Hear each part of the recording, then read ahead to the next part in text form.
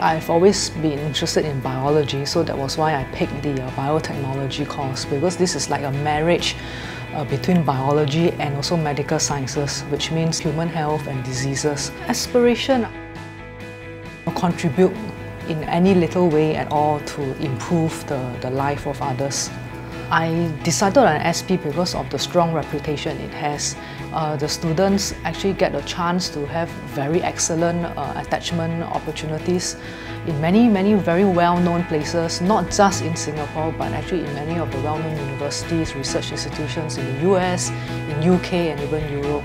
In SP, with that training, the strong hands-on and, and, and also analytical skills, it actually put me ahead of many of my peers when I went to university, that I knew how to analyze uh, experiment, the, the results and what do I make of it. Well, the uh, most important takeaway that I got from SP is that uh, action empowers you and you should never stop learning.